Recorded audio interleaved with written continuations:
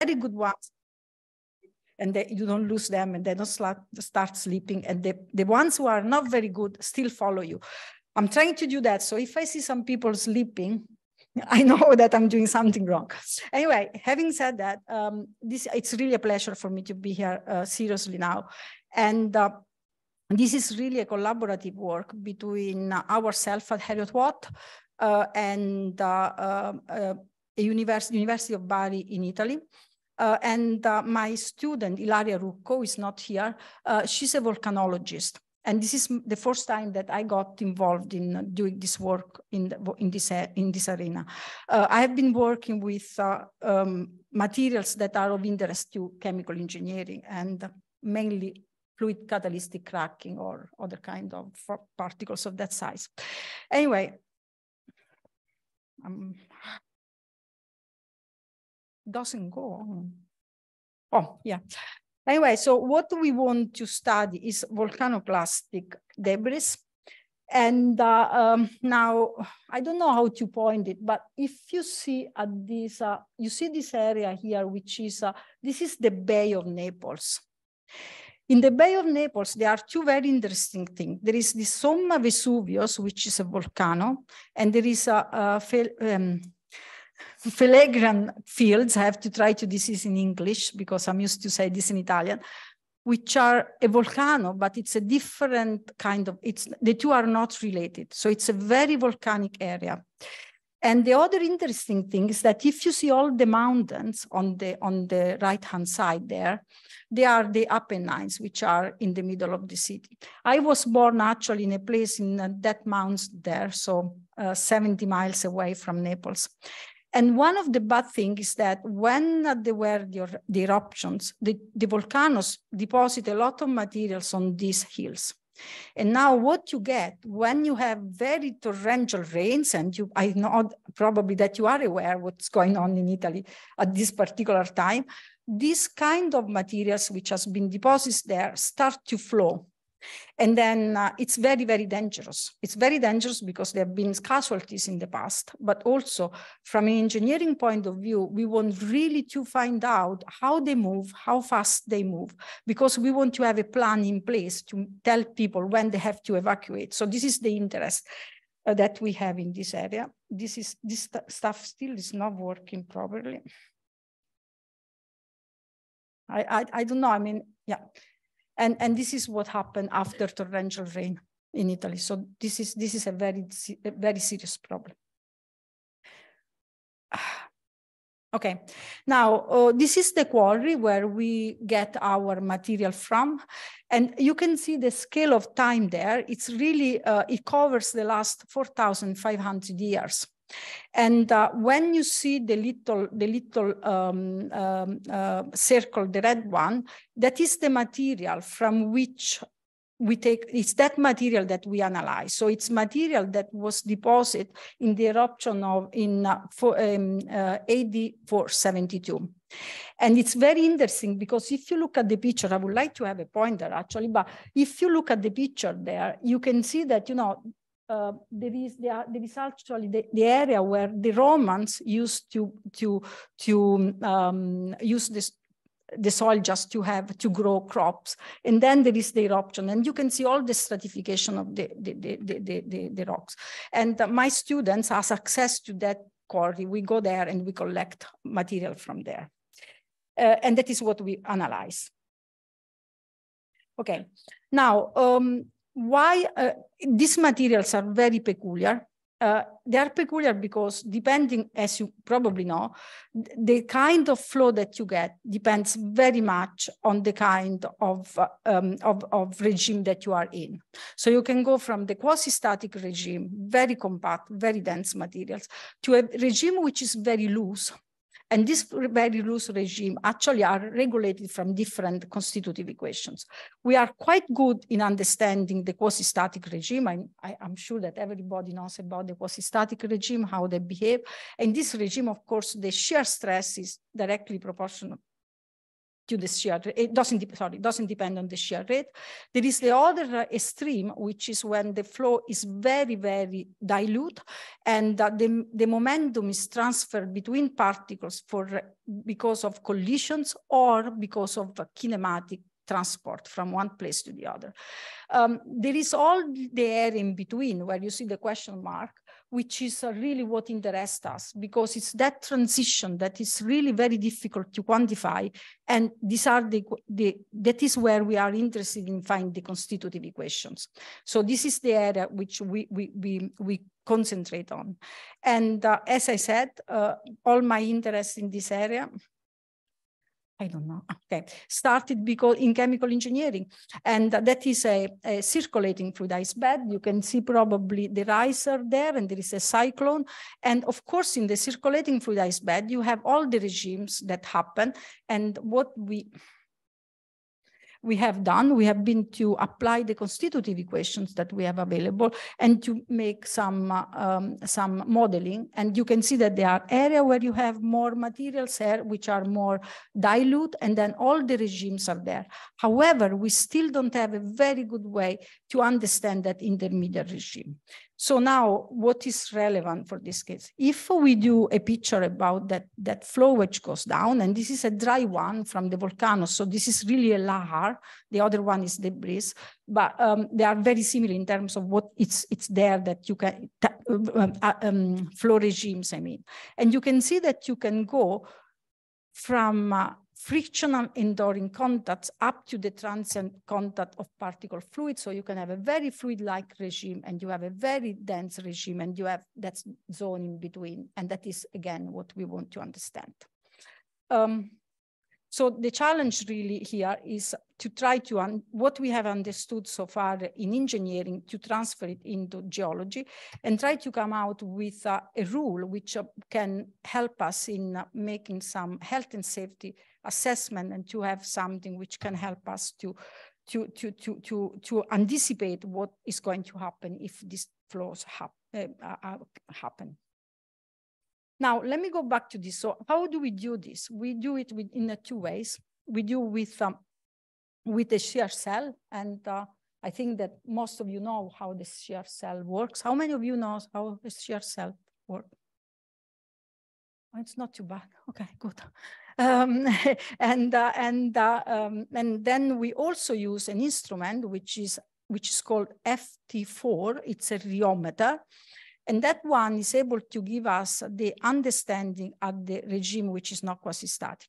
Now, the guy who produced that one, now it is Micromeritics because it has been sold, uh, the company has been sold, started with uh, a, an engineer that I knew and it's a family was a family business. And this son became after his father was taking this and he was convincing me to buy this instrument. And i've said i don't want it. I mean this is a, this is not a rheometer. This is this this is just something which is good for people who need to understand uh, uh, if uh, something flows or not flows. I want to understand constitutive equations. This is not of any good to me.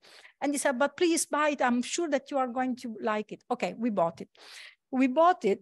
Well, actually it became very useful. Um, we, we bought it and we tried to see if we could really use it for, for our purposes. And I will show you later on that actually we can use it for our purposes and I'll show you some results.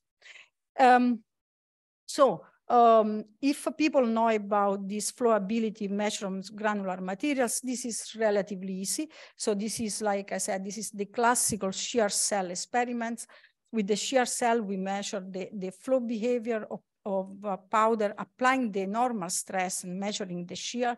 Uh, we can uh, understand information about uh, how the wall friction works. And that's important because of course, I mean, there is a friction with the, with the, with the soil, well, with the bottom, at the bottom of the slide and uh, compressibility. Uh, and also there, you can see the different um, the different uh, um, uh, kind of materials that we, we uh, analyze. So we go from dacite uh, to, dacite actually comes from Mexico. Uh, our collaborators are in Mexico. It's from a volcano, different kind of volcano. uh, the T11801 and the uh, SI pole, they come both from that quarry in, in, in Italy. Now, um, we have different size of samples. And uh, um, well, I'm an engineer. I'm, I, I used to plot uh, mass distribution, whatever you want to call it, versus size. My student once presented me a size distribution, which was this one. And I said, but this powder behave very strangely because the large ones on the right are just behaving in the way I don't want them to behave. They behave like the fine ones. I said, no, no, no, the one on the right are the fine ones. And I said, sorry. Oh, the, we plot them like log in base two of the size. So that that one is, is, is, is, this is apparently what in volcanology do, which is so counterintuitive. And, and I'm happy that people look very uh, strange here as well, because it's not just me, isn't it? I mean, so this is what they do. So I said, okay, if you want to graduate with me, the first thing that you have to do, you have to do everything and she did it but i'll show you how she did it anyway uh, so uh, so anyway oh on the stadium, on the, on the stadium, the stage. Anyway, so um, as you can see, in fact, this is very, very confusing because the one with two phi are actually the larger one. And as you increase, they become smaller and smaller. But keep this in mind, that will help you to understand what's going on later on.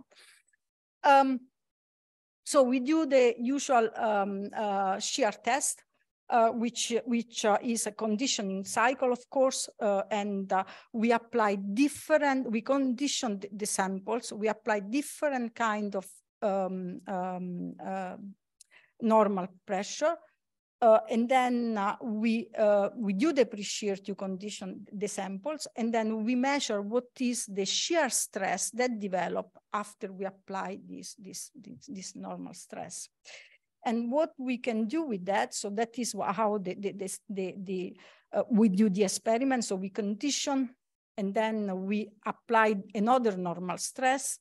Uh, we shear up to when uh, this, the, the, this, the sort of straight line that you see there, that is when the actually the material starts to flow and then you stop. And that's the first point that goes on the yield locus uh, and represents what is the shear stress versus the shear, the shear, the shear rate.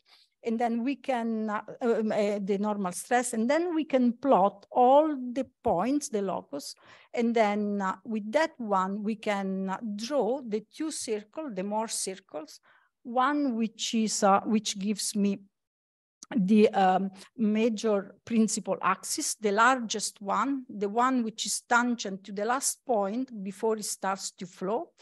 And the other one, the small one, I don't know if you can see, small one which is the unconfined yield stress. In other words, it's the one which makes the, the, the material to flow when it's uh, free. So how it flow freely. So that's, that's the two, and these two points are extremely important. So we can measure with this instrument, with the shear cell, we have uh, the cohesion, which is the interception there. We have the angle of internal friction. We have uh, the major principal stress. We have the unconfined stress. And then we can do the flowability function. The flowability function which is the relation between the, the major principal stress and the unconfined uh, stress. Okay, oops. And now we have some results here. So uh, as I said, we start very from uh, large on the left, um, uh, smaller on the right. And if we take this uh, dacite, which comes from Mexico, you can see that usually as um, the, the, the, the, the shear stress increases, uh, when the normal stress increases. And the more you increase that, the more you, you have the shear stressing, the shear stress increase. And you see that the last one, there is actually, when you go to the last five points, which are for the highest and normal stress, you get the jump because you have more resistance to be, to be sheared, okay, like you expect. Um, Dacite follows beautiful this. When we go to the two samples from Naples, same behavior, despite they are larger particles. So the smaller part, the small ones, we understand that it's probably the cohesion between the particles that gives that kind of behavior. But for that kind of materials from Naples, we don't understand why. And we start to speculate what is going to happen. Well, in practice, this, the samples from, from uh, Mexico is very, is very um, um, hard the, the, the one from Naples is very friable. So when you shear it, you actually break the samples. Hence, you have many, uh, many little particles They make the samples cohesive, more cohesive. And that's an important results because of course, I mean, when you have now the landslides and when you have, uh, you have to understand what's going on, it's probably what you can predict in Naples is different from what you can predict in, in, in, in, in, in, in, uh, in, in uh, Mexico. Um, we also were able to find out what is the flowability results. And uh, in that flowability results, what we, we are understanding is that if you go with a, a, um, a flowability function greater than 10 in, in the area down that 10 slope there, uh, this is free flowing. If you go higher, you, you go with uh, easy flowing. And you can see that although the two samples from Naples, which are the blue and the, the, uh, the, um, the uh, uh, gray one, are in that area of uh, at the beginning of easy flowing like you would expect for that particular size. So what's going on? Uh, of course, I mean, uh, the other test that we did uh, we did uh, also the, the yes the, the, the, the wall friction stress, same, same identical experiment. But now instead of having two materials in contact, the same materials in contact, you have a, a wall that you want to simulate what is going on, on on the ground. And what we have done, we have uh, doped the wall, we have attached sandpaper to the wall to understand how the asperity of the terrain can affect the results. So we have done different experiments on that, and they go as you expect to be going. And in other words, we could match the, the grid of the, of the uh, sandpaper with the, the, the, size of the particles. And then it's exactly, the, it comes out exactly like you expected. However, when uh, we were now doing the, the, uh, the uh, wall friction angle, you see all that beautiful, um, beautiful point there that seems to be very much uh, in, in agreement with what you would expect. In other words, you go from the smaller to the larger, and, and it, it's clear what is going on, because of course, I mean, if the, the fact that, P, that you have more friction at the wall is dependent, because if the asperities are higher, the particles are stopped there. If they are very, if it's very smooth, they can they, they go home. They, don't cannot, so they sleep more freely. However, when we went to the to the literature which is available, the literature pre predicts that one. So we are definitely higher than that. And again, this is due to the fact we believe that this, these samples are crushed. So essentially, when we repeat the experiments, we are not the same kind of, of particles before.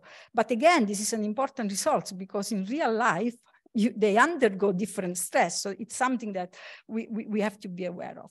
So these are some of our results. And now quickly, I don't have much time, but I want to go to this rheometer.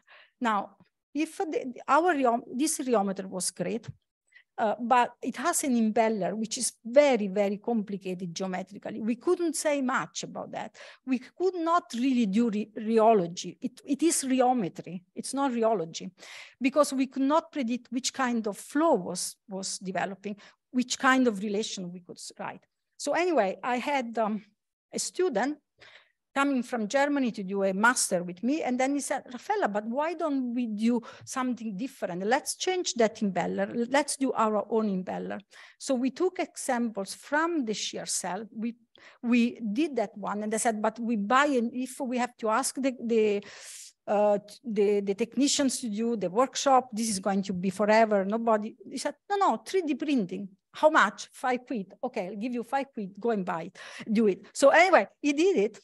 And uh, what we did, we, we discovered, there is a nice paper about that, we discovered that actually there is a similarity that unfortunately I cannot go into the details, where of course you relate the shear stress to the, to the torque and the shear rate to the, the, the angular uh, velocity, but there is a position there where at that particular positions, all the results do not depend, if you assume that it's a power law, uh, rheologically, all the point, the, the, the, um, the results do not depend from by n, the exponent of the power, which is a very important result because at that point it is Couette flow. So at that particular position, we know that it's Couette flow. So we did all the experiments and then we are sure now that we have a way to link shear stress to shear rate. And that is, I cannot go into details. We check and recheck, and we did different geometries of cells. And when we do different geometry, all collapse in one curve, which means that the relationship between shear stress and shear rate is that one. It's only one. So that's the, the constitutive equation. Our paper was published during the pandemic, so you can go and check the papers. Everything is it's expressed there. It's our paper there. Anyway, so these are the different one, and we did, like I said, I can go fast on this. Now, what did we do with our um, investigation with the data, with, with the, the, samples that we have? As you can see, uh, th there is a very diff different kind of behavior there. And the most uh, interesting one, although the dacite behaves very nicely, it's, it's almost quasi-static, isn't it? But the for uh, the, uh, unless for the very small dacite. But when you go to this uh, T118 and SI pole, they behave, they go all over the place. You can see it goes down and then it goes up and up again. And then you, you do experiments again and you do experiments again and it's always the same story. So what's going on? Well, we think that the dacite has a shear thinning behavior increase the mobility of particles when the shear the, the when uh, the shear rate increases. This is our what we think that probably is happening. And uh, in this one, probably we have crashed samples. And indeed, what we did, this is the picture from my student, to whom I asked to pl plot the weight versus the, the micron. And of course, the, the, the, the small microns are on the right and the, the right one are on the left. So, so she did the job, but she didn't put the other way around. Anyway, so I'm still confused, but uh, nevertheless, you can see that actually what we did, we repeat all the experiments before and after a test. And indeed, the granulometry changed. So the particles are crushed and then we get a different kind of sample. So we are not sharing the same samples when we do all the cycles. And uh, so uh, the conclusions are that really the flowability and compressibility of volcanic shards is strongly affected by the, the, the this distribution. Uh, the wall friction increases and there is a very important aspect that we want to investigate. The virtual Couette is very good for this kind of volcanic sam samples, and we need to do more investigations. And indeed, uh, we have uh, asked Hannah Menke in our uh, institute to do some uh, um, micro CT for us, and we can really see that the size change. So we have all the, the experiments, we are doing more experiments to understand what is going to be before and after we do. So we have more investigation to understand really what is going on in terms of crashing. And I, I, I like to conclude saying, this is my real conclusion, actually. It was on the uh, New York Times in 2020 uh, easy to understand the physics which is behind quantum me uh, mechanics and general relativity, much more difficult to understand what is the physics behind sand. And uh, with this, I thank you for your attention. And of course, I mean, this is not my work, but it's the work of my collaborators and uh, my students and postdocs. So thank you very much.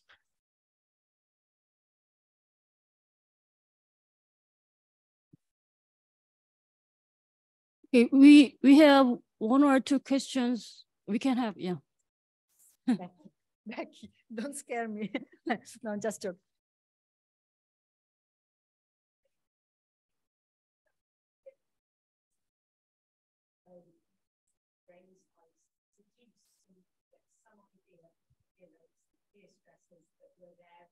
Yeah. In fact i think that another good way a good way a good thing that we should do it's very difficult as for instance you can do that way but i, I was thinking also the quarry itself because in the quarry the quarry has been having deposit all over the years and then given by that. So uh, the problem is that the access to the quarry is very difficult. Uh, they are protected in Italy. And uh, my student, before she came to work with me, was working at the um, Osservatorio Vesuviano, which is the place which has under control the Vesuvio area, which is very, it's very active. And uh, she has the access, but she has made two or three trips to Italy and collect what she has collected. It's very difficult, but I think that's a, for the for the future. That's a very good point. That's exactly because you can see how it has been uh, changing with uh, the flora. Yeah. Yeah. Uh, actually, it's. Oh, now another question there. But yeah, well, it's time to ah. move on. So you can okay. uh, you can ask her after the session. I'll ask you. Oh yeah. Oh, there is coming up. Thank you. Oh, thank, thank you for the nice presentation.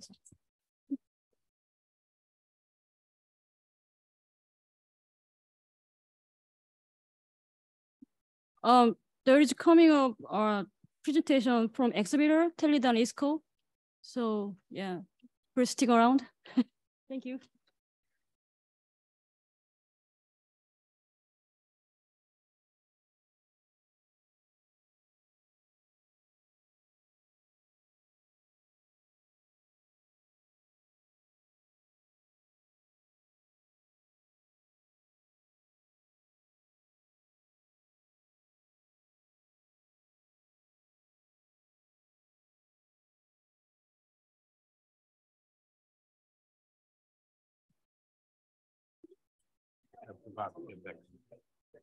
You want to start, Jess? Oh, you, you can start. Look, look, you sure?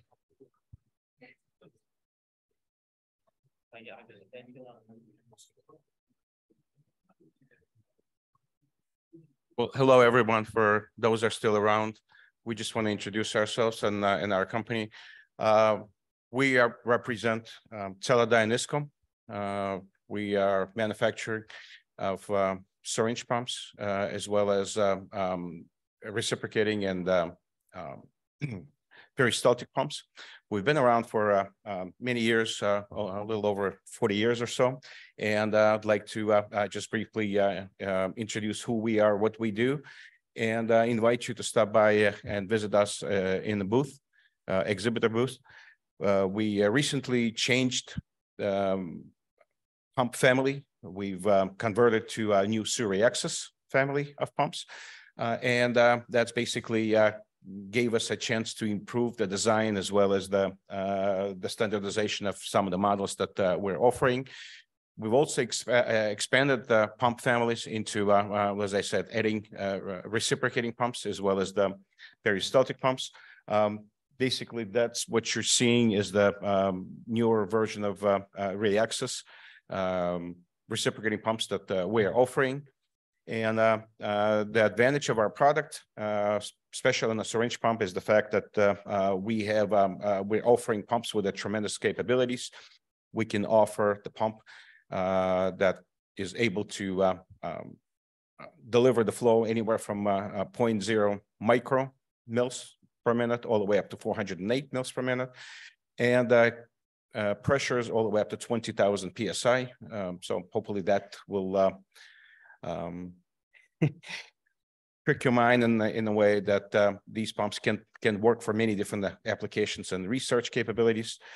Uh, uh, as I said, we also increased the um, types of pumps, uh, reciprocating pumps, as well as the peristaltic pumps. So please um, stop by. We'll, we'll give you more detailed description and uh, will will help you select the proper pumps for your uh, applications. Um, my colleague um, Ba- Bailey, yeah, he's a local representative here, and um, he'll be able to um, help you as well locally. I'm uh, physically uh, not local here, but um, is always open to um, provide help in in any way, form, shape, or fashion. Thank you.